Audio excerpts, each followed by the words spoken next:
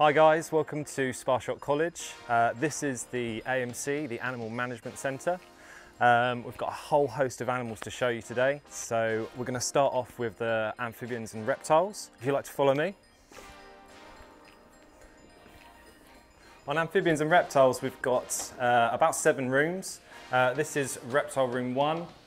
And in here, we've got a variety of different reptiles that you might link with um, beginner uh, species. So ranging from things like your bearded dragons over here, uh, we've got three in here at the moment, uh, to corn snakes, milk snakes, uh, we've also got some small children's pythons, um, water dragons over here, um, some small species of boa as well, and then of course we've got our um, well-established group of radiated tortoises.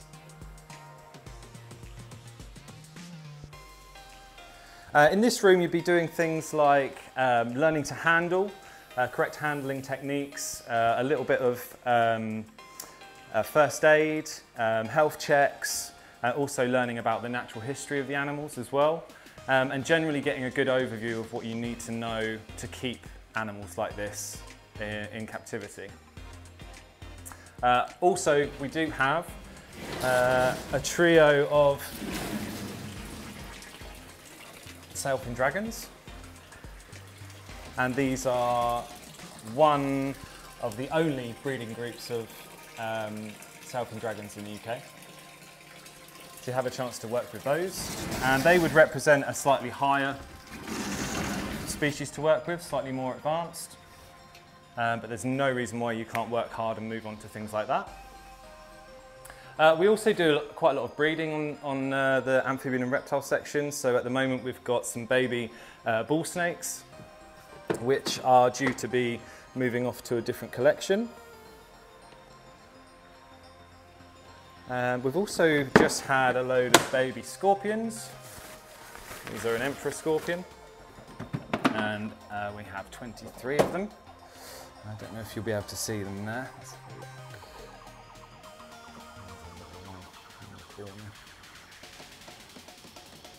So these should still be growing by the time we see you again. And then of course we've got uh, small species as well, like this uh, rough green snake who is hiding away at the moment. Probably just about see his tail. Yeah, very much hidden away in there. Uh, and of course, just like every other section, we're always progressing. So we're doing a new build. This species is going into a new enclosure with uh, species of tree frog and also anoles. So it'll be a cohabitation enclosure as well. So we're always progressing. It's always about progression. Uh, what we're going to do is move into room two. Uh, reptile room two is actually more full of amphibians. So in here we have lots of frogs and toads ranging from things like the um, uh, golden dart frogs, uh, which we also have in with the red-eyed tree frog, so that's a little cohabitation tank.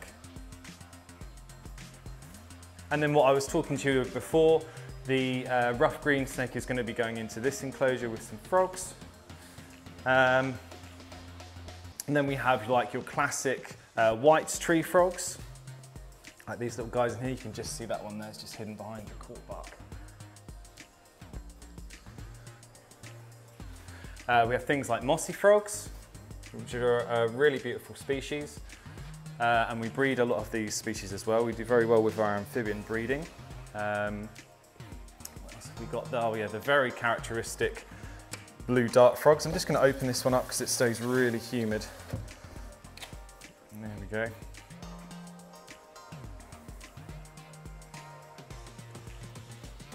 As you probably noticed, we, we put a lot of live plants in our tanks. So a lot of these in here are semi-bioactive tanks. Um, so they've got little habitats going on inside enclosures. Um, we're quite keen to carry on that and, and teach you about how you would uh, make an enclosure like that as well. Uh, also in here we don't just have amphibians, we do have our large monitor species. So uh, this is Keith, Keith is a roughneck monitor and um, he hasn't been with us very long. We actually got him off of the RSPCA. um, out of the, one of their rescue centres down in Brighton, but he's doing really well. Uh, and we also have um, Baldwin, who is a, a horned chameleon, and you'll also have a chance to work with him and feed him and watch his crazy tongue. And then, as I said, we have uh, seven rooms. So we're going to shoot through this next room because it's in the middle of being cleaned. Uh, we've just redone a load of these Herptech tanks. Um, so they've been replanted and reworked. But in this room, we have things like uh, our baby, our boas are due to uh, drop a load of um, babies. So we're going to have um, all, all, of our baby boas are going to be in here. Uh, as a, like a communal tank while they grow until we can move them onto other collections. Uh, we've got things like eyed lizards that when we eventually build our native species area, um, which is being built up in uh, Field X, which is a, another part of the AMC, they'll go outside into outdoor enclosures. Uh, leopard geckos down here in this lovely tank. Um, we have uh, legless lizards, which unfortunately aren't out because they do like to burrow. Uh, and we also have a, a, rainbow boa, which you can just about see just under the log there, just hiding out. Cool. So we're going to move through into our other rooms. Uh, quite keen to show you the croc room. So this is a, a semi-aquatic room where we house our resident crocodile. So I'm just going to open up this enclosure for you so you can get a better look. Uh, he is um, called O'Doyle, and O'Doyle is a West African dwarf crocodile. And we've had him since he was since he was young, and uh, he's doing he's doing pretty well in this enclosure. Uh, we also keep things like the critically endangered um, leaf turtles. Uh, there's some right down there just looking at you to see if, if you're going to feed them. Uh, we also breed these as well. And uh, there's hardly any of them left in the wild and there's hardly any in captivity. So we do particularly well uh, with captive breeding and moving animals onto other collections. Uh, O'Doyle is generally used for training, so we target train him. He has his little target here which he responds to, so we can move him up and down the enclosure. And that's also another key skill that you'll learn on the AMC, particularly working with more exotic animals. Um, in a zoo, uh, you'd be a lot less likely to be hands-on, but use training tools to manipulate your animal to go where it needs to go. Okay? Cool. Uh, right, so we're going to go into room four next.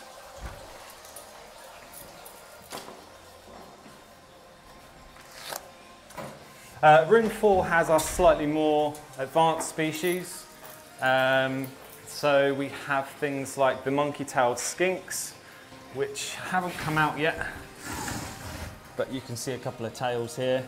Uh, and we breed these uh, about every two years. The female will have a live birth. So she's uh, an example of a reptile that doesn't lay eggs, that gives birth to live young. Um, and they're also really, really super cute. Uh, we have our um, green tree python, female green tree python. Again, another example of quite an advanced snake to keep, balancing humidity, heat and ventilation is very important. Uh, we also have, where are you? Our emerald tree monitors. Um, we're actually one of only a couple of zoos that have managed to captive breed these. Um, and we are very hopeful that in the next clutch we, we should have some more babies as well. In here you, we have uh, Amazon tree boa. So Amazon tree boa again, um, when we're talking about arboreal boas and pythons, they tend to be slightly more advanced species to keep um, because of the dimensions and the gradients that you have to look at. Very similar to the green tree python, we've got emerald tree boa in here.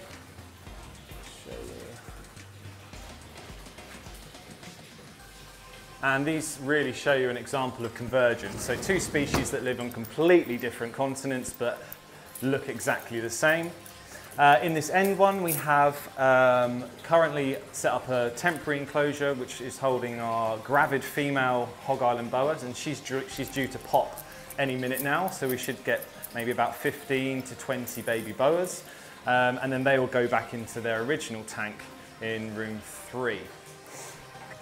Okay, so now we're going to go into uh, the last room that I'm going to show you on the reptile and amphibian section, um, and that is our venomous room. Um, we're very lucky to actually have a venomous room uh, in a college.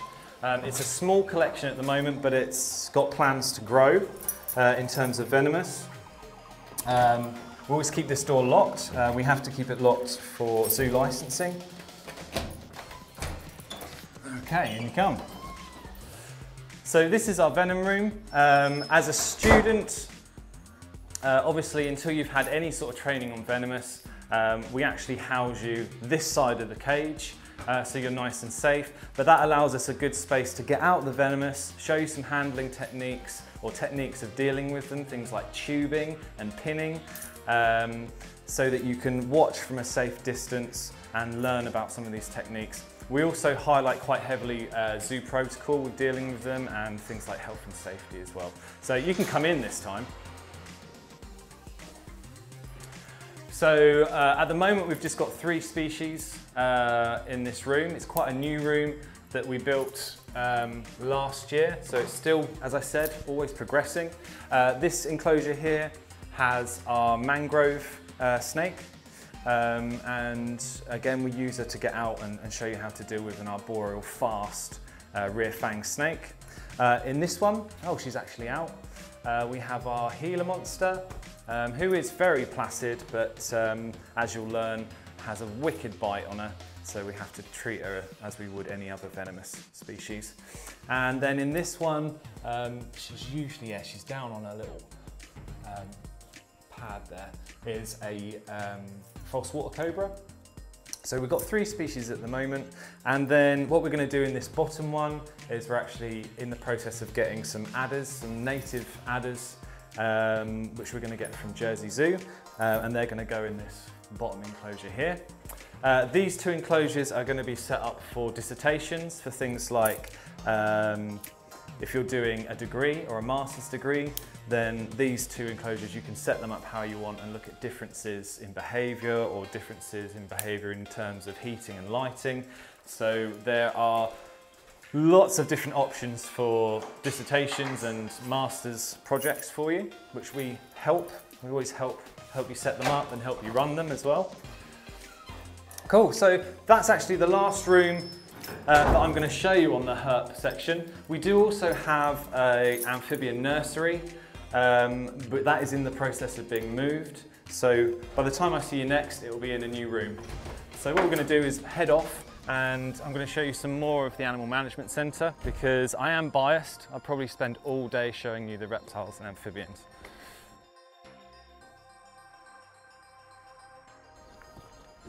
And up here, uh, immediately on our right, we have our outdoor tortoise enclosure. So not today, because it's overcast and it's starting to spit. Um, we would usually put our Hermann's tortoises out our Egyptian tortoises, the tiny little tortoises, would go outside, and also the radiated tortoises would go into that larger paddock at the back there as well. And that gives them a chance to be outside in the sun.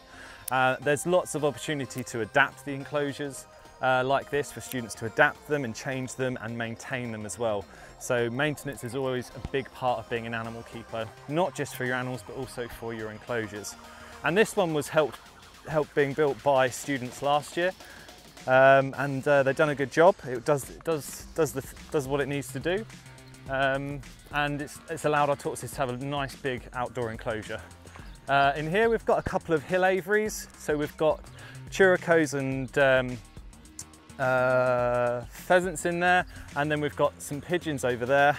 Now the pigeons, not usually a classic zoo species, but they're really good for learning how to catch and net a bird which if you're a keeper um, is a skill that you might come across, um, having to catch up your birds. And pigeons, um, they, they sort of take to it a bit better than some of our more exotic birds. They're a bit more hardy, uh, less likely to get any damage from it.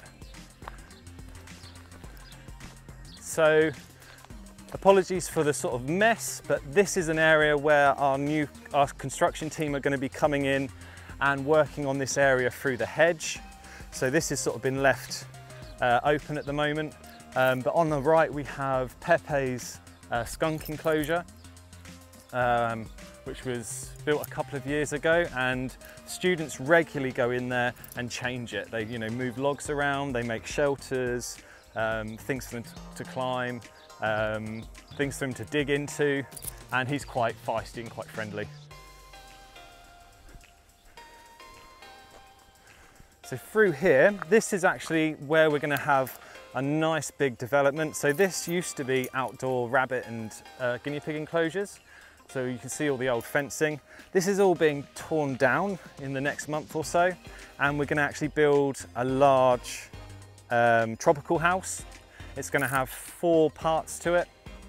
Um, so we're gonna house our meerkats, which are currently in their old, old setup at the moment. So it's gonna have meerkats, um, marmosets or tamarins.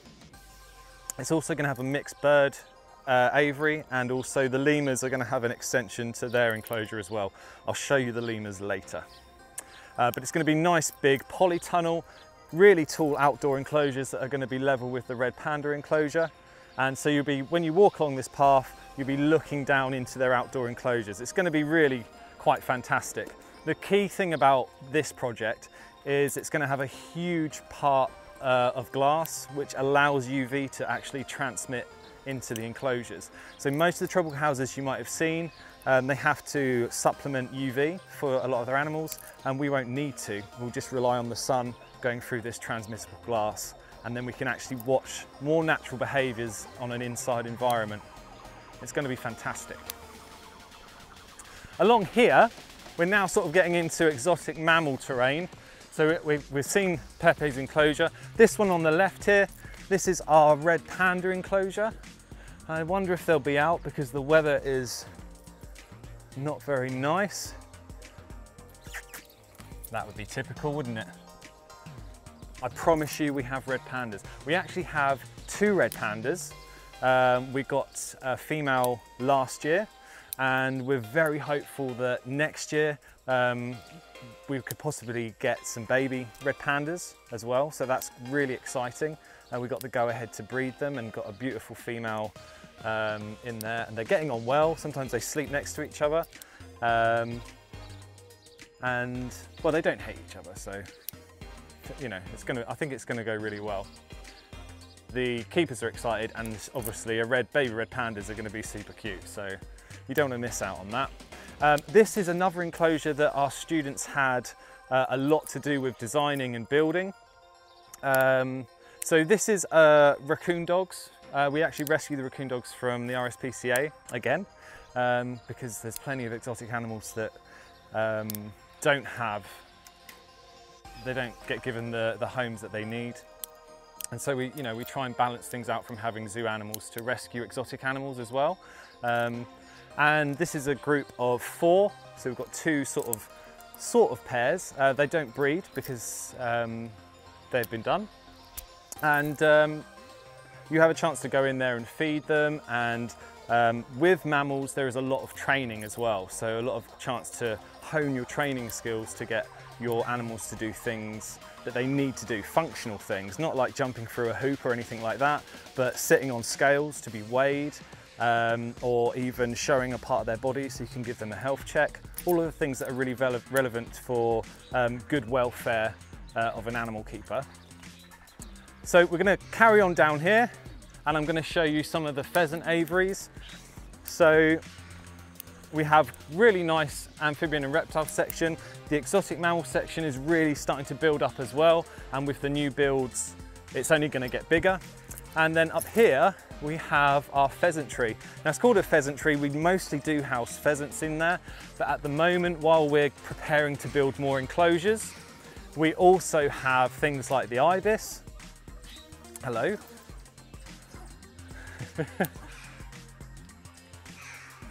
and in the background, in the next one over, we also have choughs as well.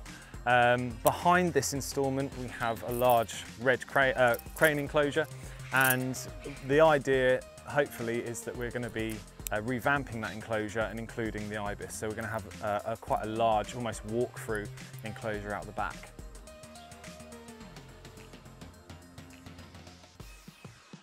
So we're going to head round here and we're going to start heading up into the paddocks. If you're a bird keeper or have a real interest in birds, it's something that we don't actually see very often. Um, birds aren't usually the ones that people want to work with, but it's a very rewarding job. And actually, um, things like zoos are always short of good bird keepers, so it's a good one to actually get invested in. So this is a temporary sort of crane enclosure. They will be at the back, and this is a 50 metre squared area that is going to be completely revamped, new fencing, new top, it's going to have multiple species in there and there's a potential to make it a walk through as well. So it's a nice big area that at the, at the moment has just got cranes in. Um, but yeah, again, it's all about progression, progression of the collection and, and making sure that we can um, provide the best welfare and husbandry that we can for our animals. The crane's just peeking its head up over there actually.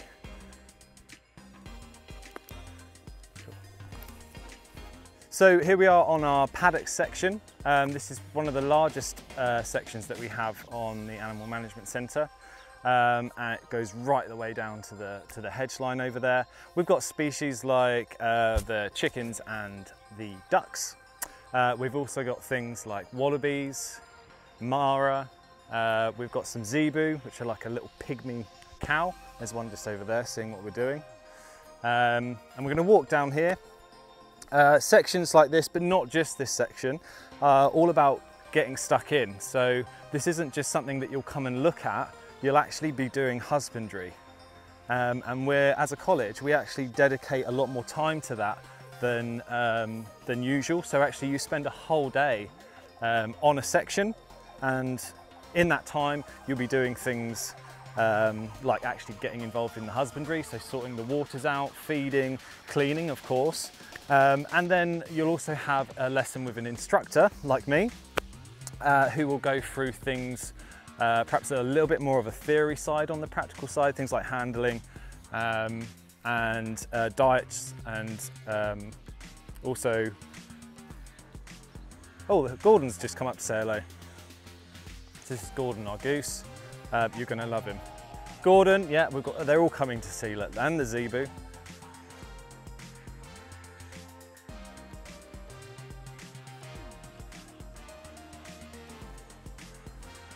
Cool. So yeah, it's all about getting stuck in and as an animal keeper, um, it's a very practical job. It's a bit of a strange one because you have to have sort of um, the academic side, the knowledge of, of, of, the species that you're keeping, and then you also have to almost have a bit more of a physical side where you're doing the actual work um, to keep them healthy. So on our right, we've got all of the alpacas, they're all staring at us. They've just had a haircut, so they look a bit bemused. And then up in that top right corner, in with the alpacas, we have three rhea, which are a bit like a, uh, an ostrich or an emu. Cool, let's carry on down. On our left, oh, there's a wallaby out there, look. Just over there is a wallaby, and just there, and then the mara, they always sit and sleep. Naughty goat. Bit further down. So at the moment, because there's still lots of space on paddocks to use, um, some of our animals have double paddocks. So uh, the um, alpaca and the rhea also have this uh, space on the left. So they've got loads of room um, to graze and walk about. And that means lots of potential to adapt an enclosure as well. So the sort of the next things we want to think about doing is putting concrete pools in so they've got a stable uh, water source rather than and coming away more from sort of troughs. Got goats on the left hand side, naughty goats. Uh, that climbing frame that you can see was built by students um, and the goats just, they absolutely love to climb on it and they play lots of games on it as well, like headbutting each other. Um, so again, paddocks is a great one to get stuck in and um, learn some skills to adapt and work with uh, the land and the enclosure that you've got. And then down here, we have our donkeys. which might come over.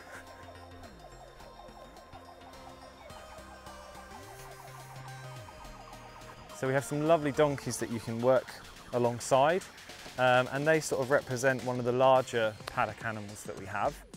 Um, so getting your confidence with larger animals is, is really extremely important. Um, so you'll be learning how to harness and uh, he's not sure what to make of that. Uh, you'll be learning to harness, uh, move them around, uh, do things like hoof picking as well and learning uh, you know, your, your general health for a larger animal. And it's good because we, we have assessments, so you get assessed on small and large animals as part of the criteria. So you have to have skills for both. Um, and you'll actually be assessed on different sections as well. So it's really important that you don't come in thinking, well, I just want to work with this animal. Um, because you'll, you'll be working with all the, all the sections. Um, and that's really good because when it comes to jobs, um, generalists is, is a good way to go. So you come out of college with a good foundation of a variety of different species. And then the, the skills and the tools that we've given you on a variety of different species can then be honed, uh, say if you did an internship at a zoo or if you decided to uh, go for a junior keeper job or a first animal job, um, that's where you can start to specify.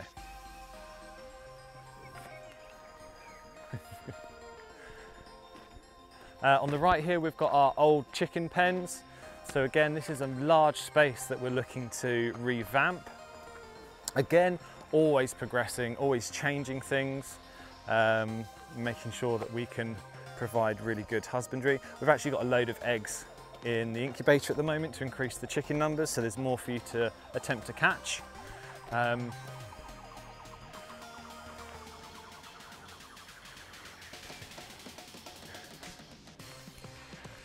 And this is a good area because there's lots of things shaking up on here. So the animals will be switching around, be utilising different bits. So probably going to move perhaps the donkeys up to this area and maybe the goats down to the far area. And that means that we can change use of the short barn. There's loads of potential for use here. Um, oh, we don't want to miss our resident kookaburra. He's just sitting in there. Are you going to call for us? Go on building up. He's like, no, it's not nice weather. I'm not going to. Okay, so we're gonna come, uh, this is at the front of paddocks. We've got our um, short barn on the right there. Um, and during summer, it's a chance for us to get lots of things built, moved, uh, repainted, re revamped. Um, and so that's what we're in the thick of at the moment, really.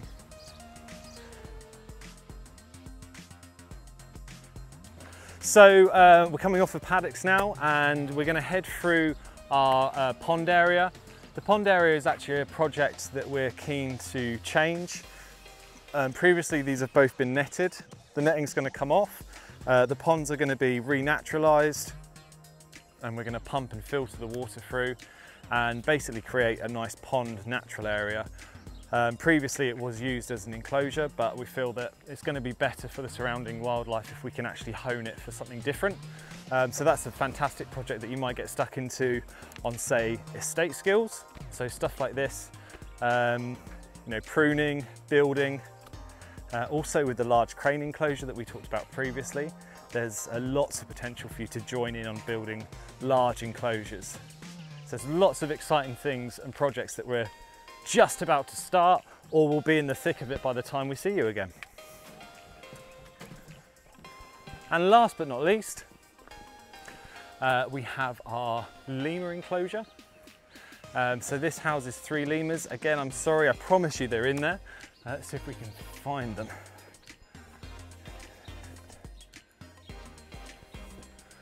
They're in. It's horrible weather, they're, they are in. But uh, we have three black lemurs in here. And again, lots of chance for you to do training, uh, but also enrichment as well. So enrichment feeding, coming up with uh, comical, but um, very practical and functional ways to feed them that keep them interested and stimulated. Um, so this is a really great um, species to work with, very common in zoos. And this will have an extension onto our new tropical house. So there'll be um, basically a high walk where the lemurs will be able to travel along a, a high tunnel into another enclosure. So they'll literally be walking above you, which could be good, it could be very risky. Wear a hat, like I do. So we're at the bottom part now of where the tropical house is going to be built. We've just seen a keeper just dashing away. Uh, so tropical house is going to be here.